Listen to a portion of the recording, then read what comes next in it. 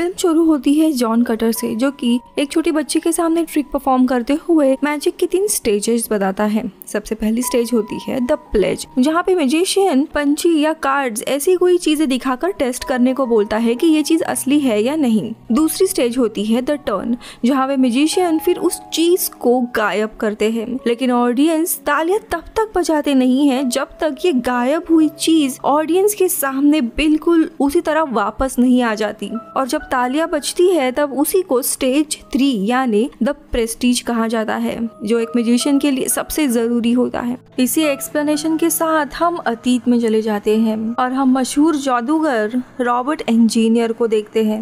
जहाँ पे magic show में रॉबर्ट इंजीनियर एक बड़े से चेम्बर के सामने खड़े होते हैं, जिसके ऊपर ज़्यादा वोल्टेज की बिजली पड़ रही थी। इंजीनियर उस चेम्बर में जाते हैं, जहाँ उसके पैरों के नीचे से डोर खुलते हैं और वो नीचे एक वाटर टैंक में गिर जाते हैं और वाटर टैंक लॉक हो जाता है। वही दूसरी तरफ़ इस मैजिक ट्रिक के सीक्रेट पता करने के लिए एल्फ्रेड वार्डन, जो कि एक और मैजिशियन होता है, स्टेज के नीचे पहुँचता है, जहाँ पे वो नोटिस करता है कि इंजीनियर के सारे वर्कर आँखों से देख नहीं सकते। इसी दरमियान वो देखता है कि इंजीनियर वाटर टैंक में डूब रहे हैं। वो उन्हें बचाने के लिए जाता है, लेकिन दरवाज़ा टाइम पे खोल नहीं पाता और उनकी जान चली जाती है। इसी दरमियान वहाँ पे कटर आ जाते हैं। उन्हें लगता है कि बॉर्डन ने ही इंजीनियर की मैजिक ट्रिक देखने के लिए जानबूझ के उन्हें टैंक में डुबाने की कोशिश की है। इसीलिए वो बॉर्डन को पुलिस के हवाले करते हैं, इंजीनियर को मारने के खिलाफ। कुछ समय के बाद उसे हम कोर्ट में देखते हैं। कोर्ट में मिस्टर कटर को उस ट्रिक को एक्सप्लेन करने के लिए कहा जाता है, जिसमें एंजियर की मौत हुई थी और उस ट्रिक को न्यू ट्रांसपोर्टेड मैन कहा जाता था। जहाँ पे एंजियर लोगों के सामने ही स्टेज के अंदर चले जाते थे और दूसरे ही पल में वो ऑडियंस के बीच में हाजिर होते थे। लोगों के सामने ये ट्रिक बताने से कटर इनकार करते हैं। इसीलिए सीक्रेटली जज को इस ट्रिक के बारे में बताया जाता है। अब ये ट्रिक जानने के बाद उन्हें पता चलता है होल्डर पहले से ही वहाँ पे काफ़ी टाइम से मौजूद था। इसीलिए उसे मुजरिम करार देकर फांसी की सजा सुनाई जाती है। अब जेल में बॉर्डन से मिलने के लिए एक लॉयर आता है, जिसका नाम ओवेन था, जो बॉर्डन के सारे ट्री खरीदने के लिए आया था, लॉर्ड कैडलाउ नाम के मजिशियन के लिए। अब बॉर्डन उसे अपने असिस्टेंट फॉलिन के पास भेजता है। लॉयर फॉलन के पास मिलने जाते हैं और उससे बॉर्डन के फ़ेमस ट्रांसपोर्टेड मैन की ट्रिक पूछता है, जो उसे लॉर्ड कैटलाव के लिए खरीदनी थी। ये ट्रांसपोर्टेड मैन की ओरिजिनल ट्रिक क्या है, ये हमें जल्दी पता चलेगा। तो बॉर्डन सीधा मना कर देता है, लेकिन लॉयर ओवेन उसे बताता है कि लॉर्ड कार्डलो बॉर्डन जाने के बाद उसके बेटी को भी अडॉप्ट कर लेंगे। और साथ ही लॉयर लॉर्ड कार्डलो की तरफ़ से बॉर्डन को एंजियर की एक डायरी भी देता है, जिसमें उसकी सारी ट्रिक्स लिखी होती है। लेकिन बॉर्डन वो डायरी को लेकर बिना कुछ कहे वापस चला जाता है। वो अभी भी ट्रांसपोर्टेड मैन की ट्रिक देने के लिए तैयार नहीं था। यहाँ से कहानी वापस फ्लैशबैक में जाती है। और हम एंजियर को देखते हैं। जब वो ज़िंदा था, तब वो अमेरिका साइंटिस्ट टेस्ला से मिलने आए थे, जहाँ पे वो एक अनोखी मशीन उनसे बनवाना चाहते थे। लेकिन साइंटिस्ट टेस्ला उसे मना कर देते हैं। अब निराश होके वो वापस अपने होटल में चला आता है और वो एक डायरी पढ़ने लगता है और अपने पुरानी ज़िंदगी के बारे में सोचने लगता है, जहाँ पे एनजीओ खुद और बॉर्डन दोनों काफ़ी अच्छे दोस्त थे। और वो दोनों भी मजिशियन मिल्टन के लिए काम किया करते थे। इनके साथ जूलिया नाम की लड़की भी होती है। दरअसल वो एंजियर की पत्नी थी और वो भी मिल्टन के लिए काम किया करती थी। एक दिन स्टेज परफॉर्मेंस के वक्त हम वाटर टैंक ट्रिक देखते हैं, जहाँ पे जूलिया के हाथ पैर बाँध के उसे वाटर टैंक में डाला जाने वाला था और उसके हाथ की रस्सी की गांठ सही है कि नहीं, इसके लिए ऑडियंस से ही एंजियर और बॉर्डन आते हैं और फिर जूलिया को टैंक में डाला जाता है। और थोड़ी देर के बाद जब पर्दा उठता है, तब जूली वहाँ नहीं थी। वो टैंक के बाहर होती है। ये मैजिक देख लोग तालियाँ बजाने लगते हैं। लेकिन बैक स्टेज पे जाकर बॉर्डन इंजर से कहता है कि मिल्टन बोरिंग है और उसकी ये ट्रिक काफ़ी पुरानी है, इसीलिए उन्हें बुलेट कैच ट्रिक करनी चाहिए। बुलेट कैच ट्रिक में दरअसल जो मैजिशियन ऑडियंस में से किसी इंसान को बुलाया जाता है, ताकि वो बंदूक लोडेड है या नहीं, ये देखे। फिर एक मैजिशियन सामने वाले दूसरे मैजिशियन को बुलेट फायर कर करेगा। और ये बुलेट सामने वाला जादूगर पकड़ लेता है। बिना उसे चोट आए। यूजुअली इस ट्रिक में मैग्नेट यूज़ किया जाता है, ताकि सामने वाला मैजिशियन उस बुलेट को अपने पास खींचे और उसे चोट ना आए। लेकिन वही जॉन कटर आते हैं और कहते हैं कि ये ट्रिक बिल्कुल सुसाइड की तरह है। अब कुछ दिनों के बाद वापस एक स्टेज परफॉर्मेंस होने वाला था, जिसमें जूलिया को वापस वाटर टैंक में डाला जाने वाला था। तभी बॉर्डन सोचता है कि जब जूलिया पानी के अंदर जाएगी, तब एक नई तरह की गार्ड बांधी जाएगी और वो कटर को दिखाता है। लेकिन कटर मना करते हैं और कहते हैं कि ये गार्ड पानी में नहीं खुल सकती, जिसमें जूलिया की जान भी जा सकती है। लेकिन बॉर्डन तो नहीं मानता, लेकिन जूली भी इस नए एक्सपेरिमेंट के लिए तैयार होती है और उस नए गार्ड को ही अप्रूव किया जाता है। इसी दरमियान शहर में एक दूसरा मैजिशियन आया होता है और कटर इन दोनों को भी उसकी एक खास मैजिक ट्रिक ढूँढने के लिए कहता है। और जो भी इन दोनों में से मैजिक ट्रिक पता लगाएगा, वो उसे एक मैजिशियन के साथ 10 मिनट स्टेज पर रहने का मौका देगा। अब दोनों शो देखने जाते हैं, जहाँ वो चाइनीज़ मैन मैजिक से एक फ़िश टैंक सबके सामने टेबल पर लाता है और वहाँ बॉर्डन उस मैजिशियन की ट्रिक समझ जाता है और कहता है कि वो चाइनीज़ मैजिशियन बस अपाहिज होने का नाटक कर रहा है। असल में वो चीज़ों को अपने कपड़ों में टांगों के बीच में छुपाकर स्टेज में लाता है और उसके बाद बॉर्डन को स्टेज पर मैजिशियन के साथ काम करने का मौका मिलता है, जहाँ वो सारा से मिलता है और दोनों भी एक दूसरे को पसंद करने लगते हैं। वही वापस मेन शो के दरमियान वाटर टैंक वाली ट्रिक दोबारा स्टेज पर परफॉर्म की जाती है, जहाँ पर फिर से बॉर्डन और एंजियर आते हैं जूली के नोट को बांधने के लिए। यहाँ पे बॉर्डन जूली से इशारों में बात करते हुए नोट बदल देता है, और एक मिनट पूरा होने पर जब जूली बाहर नहीं आती, तभी कटर वो शीशा तोड़ने के लिए स्टेज पर जाता है। तब हम देखते हैं की जूली काफ़ी तड़प रही होती है, लेकिन ये लोग कुछ कर पाए, इसके पहले ही उसकी जान चली जाती है। एंजर बॉर्डन को ही इस चीज़ का गुनेगार समझता है और फ्यूनरल के दिन उसे पूछता है कि उसने कौन सी नोट बांधी थी, क्योंकि जूलिया हर एक नोट खोलने में काफ़ी सफल होती थी। लेकिन बॉर्डर के आँखों में कोई भी दुख दर्द नहीं था और वो कहता है, मुझे नहीं याद है, और वहाँ से चला जाता है। बस इसी दिन से दोनों में काफ़ी दुश्मनी शुरू होती है और एंजर ठान लेता है कि वो हर पल बॉर्डन की सारी खुशियाँ छीन लेगा। दोनों भी मैजिशियन अपने अपने रास्ते चले जाते हैं और अपने अपने शो करने लगते हैं। अब कुछ दिन के बाद बॉर्डन और सारा शादी कर लेते हैं। फिर बॉर्डन एक मैनेजर रखता है, जिसका नाम फॉलन होता है। और कुछ ही समय के बाद सारा प्रेग्नेंट होती है। जिसे सुनकर बॉर्डन बहुत ही खुश होता है और बताता है कि वो एक बुलेट कैच ट्रिक करने वाला है। और बॉर्डन सारा को ये ट्रिक समझाता है कि गन में सिर्फ़ गन पाउडर होगी और जब मुझे गोली लगेगी, तब दरअसल गोली सिर्फ़ मेरे पास होगी और बंदूक खाली होगी, जिससे उसकी जान को कुछ भी नहीं होगा। अब उसके शो में बुलेट कैच वाली ट्रिक दिखाने के लिए वो ऑडियंस में से ही किसी को बुलाता है, जो कि दरअसल एंजियर होता है, जो गेटअप बदल कर आया होता है। एंजियर गन को हाथ में पकड़ते हुए उसने छुपाई हुई बुलेट डाल देता है और गन को बॉर्डन की तरफ़ रख कर और उसे पूछता है कि कौन सी नॉट बांधी थी। यहाँ पे बॉर्डन समझ जाता है, रेंजर गुस्सा होता है और उसे शूट करता है। और बॉर्डन के हाथ से दो उंगलियाँ कट जाती है। इन सब के बाद हम जॉन कटर को देखते हैं, जो कि एक बार फिर काम शुरू करना चाहता था, जिसके लिए कटर इंजीनियर से मिलता है। अब इंजीनियर खुद को एक नया नाम देता है द ग्रेट डैंटॉन और इंजीनियर को ओलिविया नाम की एक नई असिस्टेंट भी मिलती है, जिसे वो ट्रेन करता है। अब कटर नई ट्रिक्स के लिए मशीन बनाते हैं और जल्दी उनका एक शो होता है, जहाँ पे एक पिंजरे से पक्षी को आज़ाद करना था, जिसमें कि पिंजरा गायब हो जाता है। लेकिन वहाँ वॉलेंटियर करने के लिए दो लोग बुलाए जाते हैं, जिसमें से एक मेल होता है और दूसरी फीमेल इंजीनियर दोनों को पिंजरे पर हाथ रखने के लिए कहता है और वहाँ पे मेल पार्टिसिपेंट की दो उंगलियाँ नहीं थी। और इंजीनियर पहचान जाता है कि वो और कोई नहीं, बल्कि बॉर्डन है और बॉर्डन एक गलत वायर खींच देता है, जिसमें कि पंछी मारा जाता है। और उस लेडी का हाथ भी कट हो जाता है। ये सब होने के बाद थिएटर का मैनेजर उस शो को बंद करवा देता है और इंजीनियर का नाम भी खराब होता है। अब कुछ दिन के बाद कटर इंजीनियर को एक एग्जीबिशन में जाने की सलाह देता है। ये एक साइंस एग्जीबिशन था और यहाँ पे तरह तरह की मशीन रखी गई थी। और यही पे निकोला टेस्ला इनकी काफ़ी बड़ी मशीन भी होती है। उसी एग्जीबिशन में एंजियर बॉर्डन को भी नोटिस करता है। अब वहाँ से निकलते हुए वो बॉर्डन का पीछा करता है और देखता है कि बॉर्डन बॉर्डन की एक छोटी बच्ची भी है और वो अपनी पत्नी के साथ बहुत ही खुश है। और इंजीनियर को बॉर्डन के ऊपर गुस्सा और खुद के लिए बुरा फील होने लगता है, क्योंकि उसका परिवार नहीं था।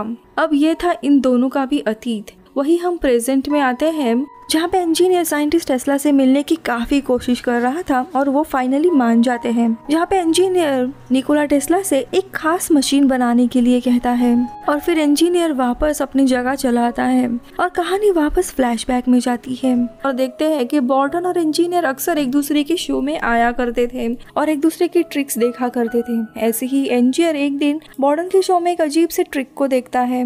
जहाँ पे वो आमने सामने लगे हुए दरवाजे थे और बॉर्डन एक दरवाजे के अंदर जाने से पहले एक छोटी सी बॉल दूसरे दरवाजे की तरफ़ फेंकता है और दरवाज़ा बंद कर लेता है और बॉल की दूसरी तरफ़ पहुँचने के पहले ही बॉर्डन दूसरे दरवाजे से निकलकर बाहर आता है उस बॉल को पकड़ते हुए। यानी कि वो सीधा एक दरवाजे में जाता है और दूसरे से निकलता है लोगों के सामने। और यही बॉर्डन की सबसे फ़ेमस द ट्रांसपोर्टेड मैन ये ट्रिक थी। जिसे देख एंजर काफ़ी हैरान होता है कि ये कैसे पॉसिबल है और उसे सीखना था कि एग्जैक्टली हो क्या रहा है, तभी कटर उसे समझाता है कि बॉर्डन ने एक बॉडी डबल इस्तेमाल किया होगा। लेकिन एंजर को पूरा यकीन था कि वहाँ बॉडी डबल नहीं था, क्योंकि दोनों के हाथ में पैडेड ग्लव्स थे। उंगली कट होने के कारण वो पहना करते थे। बॉर्डन के साथ होने वाले कॉम्पिटिशन में एंजियर भी वही ट्रिक इस्तेमाल करता है, जिसके लिए वो एक बॉडी डबल भी ढूंढता है। अब ये ट्रिक स्टेज पर परफॉर्म की जाती है, जहाँ एक दरवाजे से एंजियर स्टेज के नीचे जाता है और उसी टाइम उसका बॉडी डबल दूसरे दरवाजे से स्टेज पर आता है, जिससे लोग काफ़ी हैरान होते हैं और पूरा माहौल डालियों से गूंजने लगता है। लेकिन ये बात एंजर को पसंद नहीं आती, क्योंकि क्योंकि मैजिक का जो तीसरा स्टेज रहता है द प्रेस्टीज यानी लोगों के सामने तालियाँ सुनना वो उसे महसूस नहीं कर पा रहा था क्योंकि लोगों के सामने उसका बॉडी डबल था। अब बॉर्डन की ट्रिक पता करने के लिए एंजियर अपने असिस्टेंट ओलिविया को उसके पास भेजता है, लेकिन वो तैयार नहीं होती। लेकिन फिर भी वो उसके पास भेजता है। और बॉर्डन का भरोसा जीतने के लिए ओलिविया उससे प्यार का नाटक करने लगती है। कुछ दिन बीत जाते हैं, लेकिन वो बॉर्डन को सच में पसंद करने लगती है और उसे एक दिन सारी सच्चाई बता देती है कि एंजियर के कहने पर वो यहाँ पे उसकी ट्रिक सीखने के लिए आई थी। अब ये सुनते ही बॉर्डन काफ़ी गुस्सा होता है और एंजर के अगले शो में बॉडी डबल का राज वो सारे ऑडियंस के सामने लाता है और स्टेज के नीचे ज़मीन पर गिरने से एंजर के पैर में भी काफ़ी बड़ी चोट आती है। अब शो होने के बाद एंजर को ओलिविया पे शक होने लगता है। जब वो ओलिविया से मिलने आता है, तब वो उसे बताती है, बॉर्डन सच में एक बॉडी डबल इस्तेमाल करता है।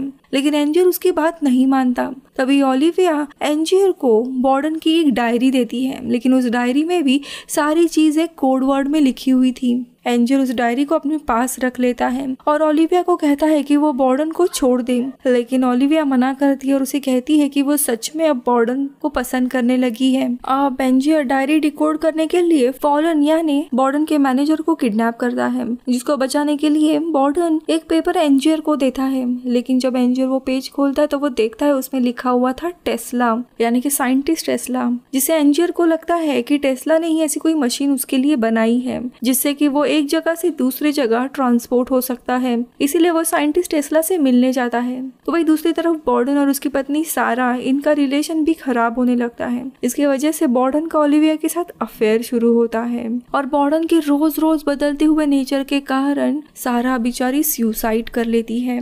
अब वही हम प्रेजेंट में आते हैं, जहाँ पे इंजियर बॉर्डन की वही डायरी को पढ़ रहा था। और उसे ये पता चलता है कि बॉर्डन ने ये डायरी ओलिविया के हाथों जानबूझकर दी है और उसमें साफ़ साफ़ लिखा हुआ था कि उसकी डायरी डिकोड करने से टेस्ला का कोई लेना देना नहीं है। ये सुनने के बावजूद भी एंजर साइंटिस्ट टेस्ला के पास जाता है और उनसे पूछता है कि क्या उन्होंने कभी किसी के लिए कोई मशीन बनाई थी? तो वो मना करते हैं। लेकिन एंजर उन्हें एक मशीन बनाने के लिए कहता है, जो किसी भी वस्तु को एक एक जगह से दूसरे जगह पे टेलीपोर्ट कर सकती है। कुछ दिन के बाद वो मशीन तैयार होती है और एंजर उनके पास टेस्टिंग के लिए आता है, जहाँ पे वो एंजर के काफ़ी सारे हैट्स को उस मशीन में भेजते हैं ताकि वो ट्रांसपोर्ट हो सके। और इन्हीं टेस्ट ऑब्जेक्ट के बाद वो एक बिल्ली को इस मशीन द्वारा भेजने की कोशिश करते हैं, लेकिन वो बिल्ली कभी भी ट्रांसपोर्ट नहीं होती और इंजियर नाराज़ होकर वहाँ से जाने लगता है। लेकिन बाहर आने के बाद इंजियर देखता है कि सेम वैसी ही बिल्ली घर के बाहर थी और साथ ही कुछ हैड्स भी थी, जिसकी टेस्टिंग उन लोगों ने थोड़ी देर पहले की थी। के बाद वो समझ जाता है कि ये मशीन कोई ट्रांसपोर्ट नहीं करती, बल्कि ऑब्जेक्ट को डुप्लीकेट करती है, यानी काइंड ऑफ़ उसका क्लोन बनाती है। अब एंजियर उस मशीन को लेने की बात करता है, लेकिन साइंटिस्ट टेस्ला उसे कुछ और दिन माँगता है उसे टेस्ट करने के लिए। अब कुछ दिन के बाद एंजियर जब वापस आता है, तब वो देखता है कि थॉमस एडिसन के लोगों ने टेस्ला इनके पूरे जगह को बर्बाद कर दिया था। लेकिन टेस्ला इन्होंने वो मशीन ऑलरेडी एंजियर के होटल में भेज दी होती है। और साथ में ये भी मैसेज लिखा होता है कि ये मशीन कभी भी यूज़ नहीं करना। लेकिन फिर भी वो मशीन अपने पास लेके आते हैं और एक नए शो की शुरुआत करते हैं और कटर को बुलाते हैं और इस बार अपने सेट पर काम करने के लिए सिर्फ़ ऐसे लोगों को रखता है जिन्हें कुछ भी दिखाई नहीं देता, ताकि उसके ट्रिक के बारे में किसी को पता न चले। ट्रिक को स्टेज पर दिखाने के लिए सभी तैयारियाँ करने लगते हैं। इसी दरमियान दूसरी तरफ़ हम ओलिविया को देखते हैं। जो गुस्से में लंदन चली गई थी, वो वापस आती है और बॉर्डन उसे मिलता है और उसे बताता है कि वो उससे प्यार करता है। लेकिन ओलिविया उसके झांसे में नहीं फंसती और कहती है कि तुम्हारी पत्नी के मरने के बावजूद तुम्हारे चेहरे पर कोई भी दुख नहीं दिखाई दे रहा यानी तुम मुझे भी फंसा रहे हो। और वैसे भी मुझे छोड़ के तुम्हें दूसरी जगह पे ध्यान देना चाहिए, क्योंकि एंजियर वापस आया है एक नए ट्रिक के साथ। इसीलिए वो भी उसका शो देखने के लिए जाता है। शो के दरमियान एंजियर स्टेज पर था और वो अपने चेम्बर में जाता है, जिसके ऊपर काफ़ी ज़्यादा बिजली की रोशनी पड़ रही थी। और बिजली के बंद होते ही एंजियर गायब हो जाता है, लेकिन अगले ही पल सारे ऑडियंस के बीच से वो निकलता है। और द प्रेस्टीज परफॉर्मेंस देख सब लोग हैरान होते हैं। ये देख बॉर्डन भी काफ़ी हैरान होता है क्योंकि ये ट्रिक उसे समझ नहीं आती कि एक पल में वो इधर था, दूसरे पल में ऑडियंस के बीच। अब अगले शो में बॉर्डन फिर से जाता है ये ट्रिक देखने के लिए। इस बार किसी तरह बैक स्टेज जाकर वो पता करने की कोशिश करता है कि स्टेज के नीचे ऐसा क्या है जिसे एंजर इतनी जल्दी ऑडियंस के बीच में वापस आता है।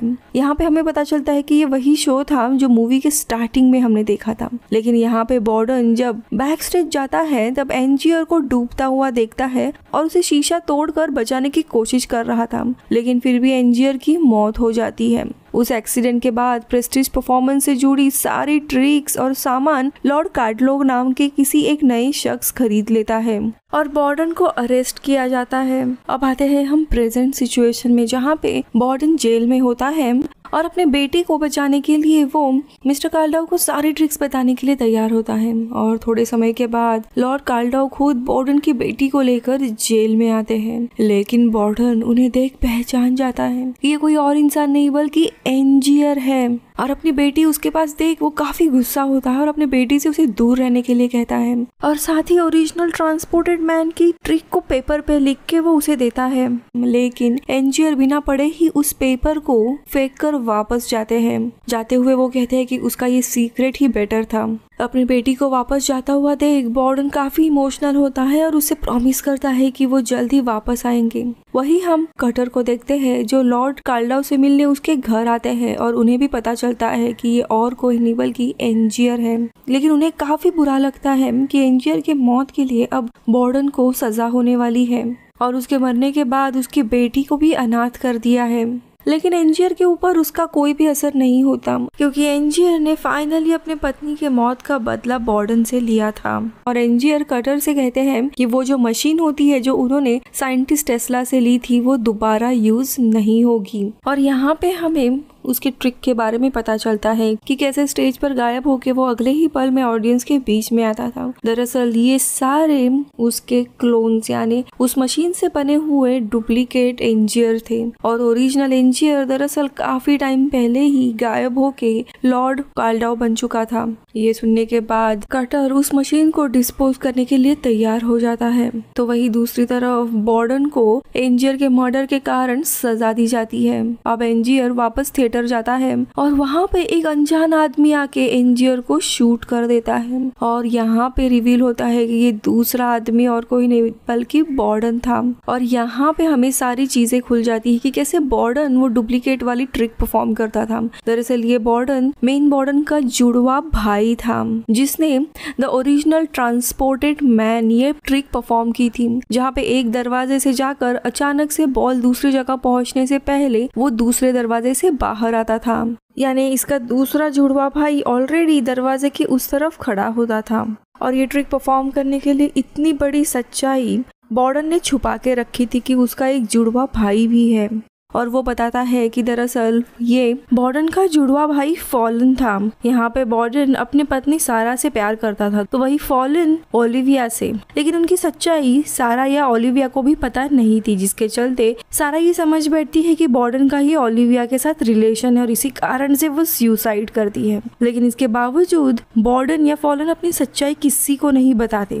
फॉलन गुस्से में आगे कहता है कि अपने काम के लिए उसने काफ़ी सेक्रीफाइस किया है। लेकिन तभी इंजीनियर गुस्से में उसे रोकते हुए कहता है कि मैंने भी अपनी मौत हर रोज अपने आँखों से देखी है। उसे भी पता नहीं था कि उसके हर एक शो के बाद कितने लोगों को मरना होगा और वो आखिर में न्यू ट्रांसपोर्टेड मैन की ट्रिक कैसे की है ये बताता है कि वो हर एक क्लोन उस मशीन से पैदा करता था ताकि दूसरे डोर से वो क्लोन दिखे और हर शो के बाद उन क्लोन्स को पानी में डूब मरना पड़ता था। और इसी तरह वो रोज रोज मर रहा था। और ये कहते ही असली एंजियर यानी लॉर्ड कालडाव की मौत हो जाती है और पूरे सेट को आग लग जाती है। और इन दोनों की भी दुश्मनी यही पे खत्म होती है। बाय